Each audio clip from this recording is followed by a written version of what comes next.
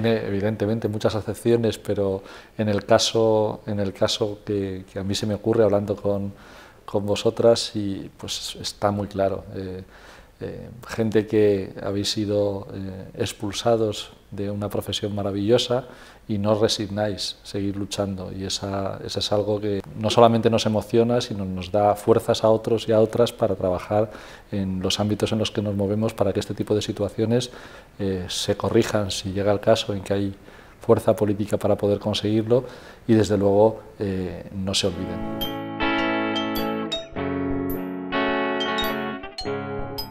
Me considero un ser político desde, desde ya digo, desde, desde mi tierna infancia. Eh, lo que ocurre es que a la política profesional he llegado hace 18 meses cuando eh, bueno, pues me dijeron que, que, echara una mano participando en una lista para, para intentar arrebatar a Madrid al Partido Popular y bueno, pues el hecho de que la señora Aguirre encabezara eh, la lista del Partido Popular coadyuvó a, mi decisión de, participar en, esa alternativa. Y bueno, pues eh, soy militante de Izquierda Unida y, bueno, pues eh, participé en el proceso de primarias y, eso es lo que ha,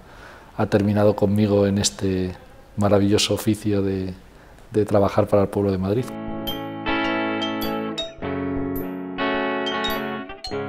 La necesidad de la alternativa yo creo que no la, no la, negaba nadie, pero el, ser capaces de, eh, bueno, pues de hacer eh, confluir a fuerzas políticas eh, diferentes y a sensibilidades más allá de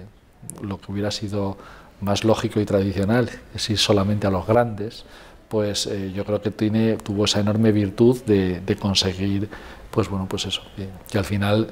fuera una candidatura ganadora.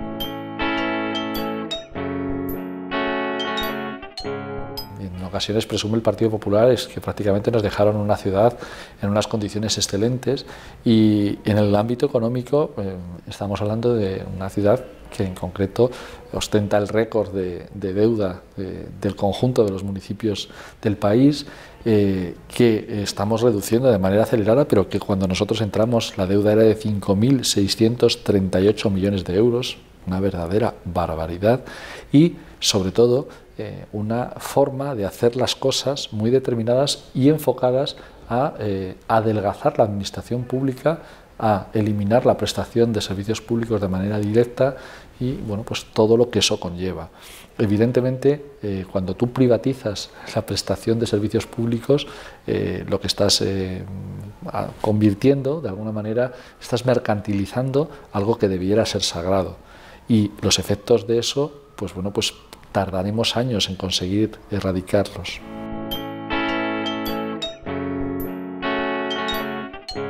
Esos cambios constitucionales que solemos decir eh,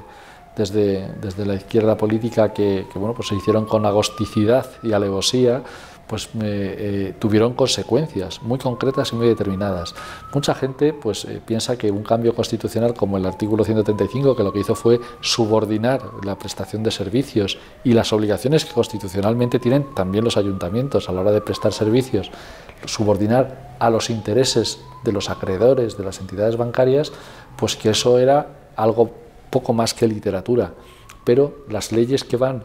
eh, a continuación de esa modificación constitucional no son literatura. Obligan a actuar de una muy determinada forma las administraciones públicas y de una manera, en este caso, aberrante. El planteamiento es que eh, la ciudad de Madrid en concreto, que ese es el debate intensísimo que estamos manteniendo y que seguiremos manteniendo hasta que eh, bueno, pues, entendamos que es superado esa doctrina impuesta por el Ministerio de Hacienda, eh, el planteamiento es que no podemos crecer en gasto, incluso teniendo necesidades sin cubrir, incluso aunque tengamos una situación de capacidad de poder financiar esos gastos. Incluso en una situación de superávit no podemos incrementar nuestro gasto social o nuestro gasto en cualquier tipo de prestación de servicios públicos. Y eso es algo que no es que no lo entendamos nosotros, no lo entiende nadie.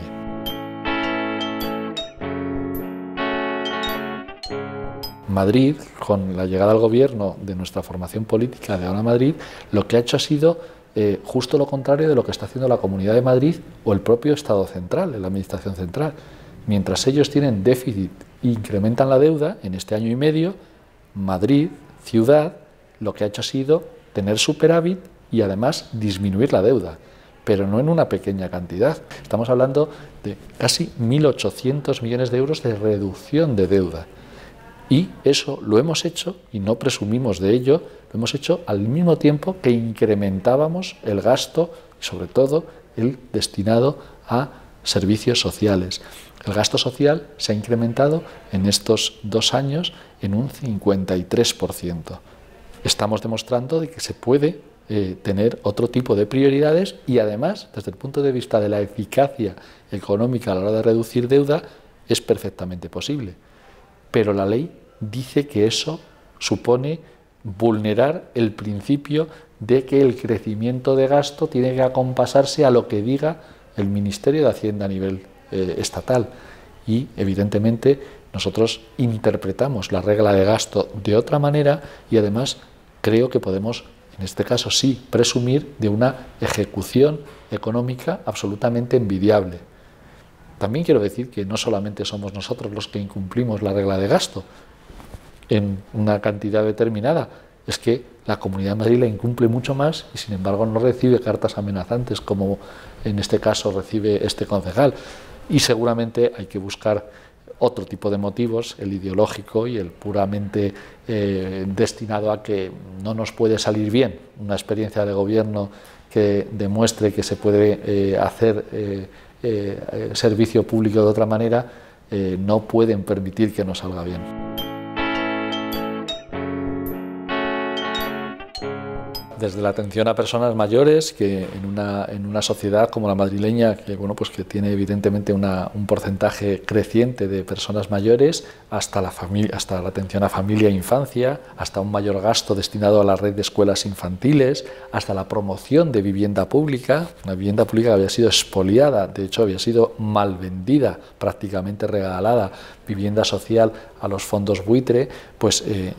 todas esas políticas forman parte de la actuación que ha llevado a cabo este gobierno, que ha supuesto ese incremento tan sensible y tan importante de gasto social. Gasto social no es solo el apoyo a las situaciones de emergencia o de gente en peor situación, que también, por supuesto, sino otros muchos elementos que entendemos que son una competencia básica, fundamental de Madrid. Y, lógicamente, no podemos permitirnos que teniendo fondos, teniendo capacidad económica para prestar esos servicios, eh, esa normativa nos ate las manos y nos impida actuar. Es algo que no lo vamos a, no lo vamos a permitir.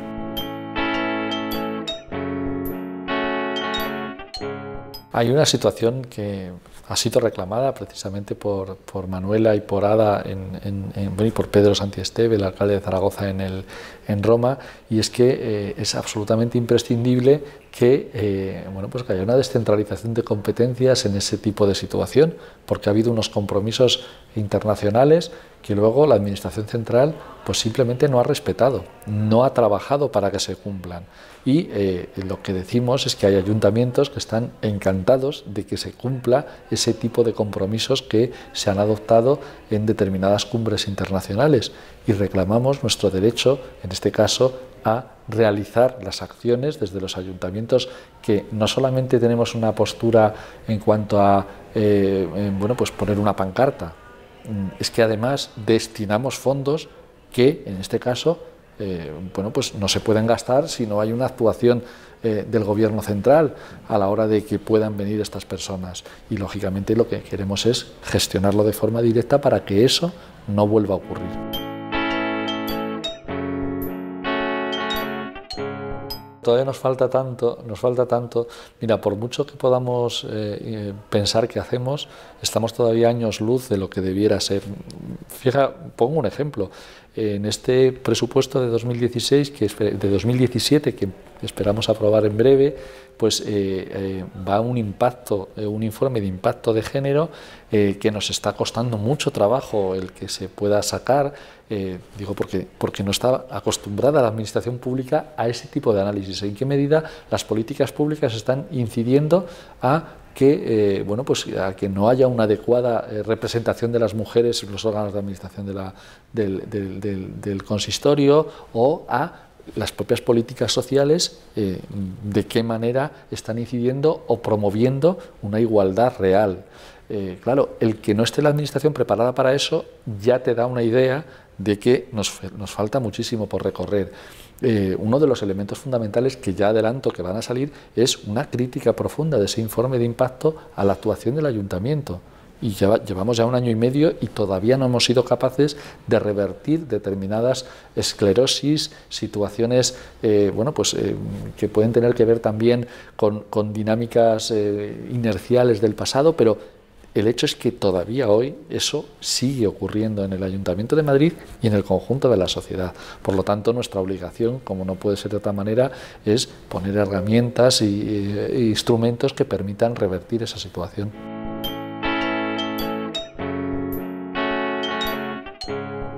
Es muy ilusionante esto de tener la capacidad de gobernar, eh, además con proyecto político. Claro, tenemos un plan de gobierno, un plan de gobierno eh, que pinta una ciudad bastante diferente a la que eh, nos encontramos y, claro, bastante diferente y desde nuestra perspectiva bastante mejor. Y por,